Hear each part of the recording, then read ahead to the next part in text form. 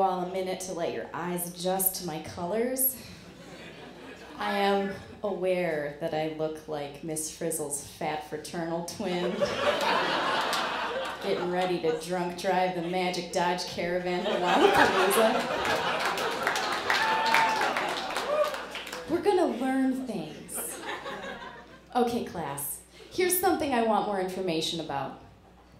Why do dudes feel the need to, like, rub their dick all over me after they've unleashed their liquid love demon? You know what I'm talking about? It's like they're spooning pureed squash off a baby's chin.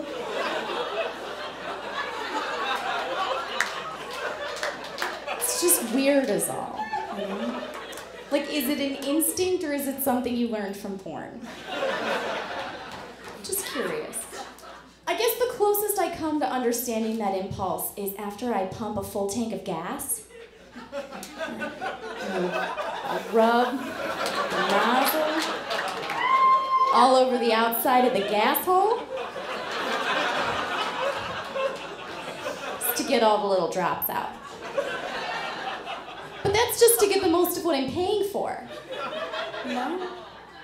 As soon as your dick nectar becomes a tradable commodity, I might have a little more respect for your process.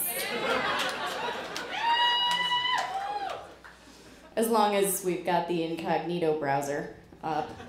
Uh, can we not tap on my crotch like we're searching for a vein? Does anybody else get that?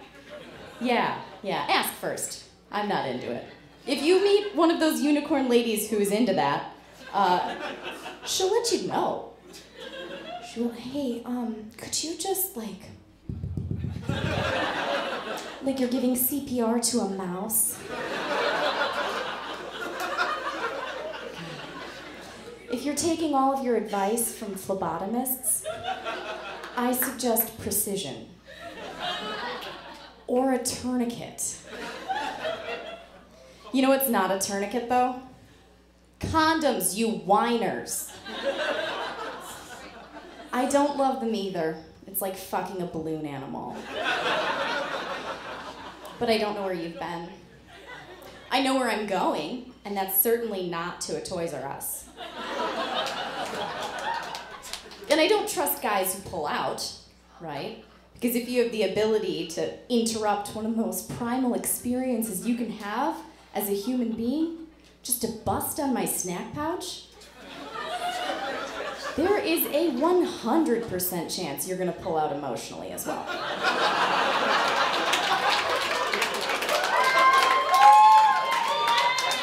And there's no excuse, you guys.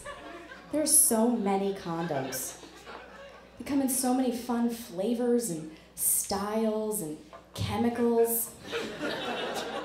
Do you guys ever notice though that like Magnum condoms don't come in any fun styles? That's because the big dick is the fun part. and I don't need Magnum Fire and Ice condoms. You tearing me in half burns quite enough, thanks.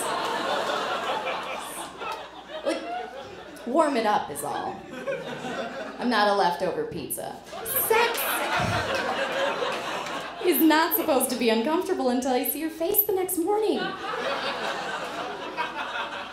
Do you guys know that 35% of men are wearing condoms that are too large? 35%. Yeah. So apparently, the average man pays just enough attention to women's fashion to understand that wearing something a little baggy can make you appear larger. but it's a public health concern. If I have to fish one more condom out of my snatch, I'm gonna fucking kill somebody.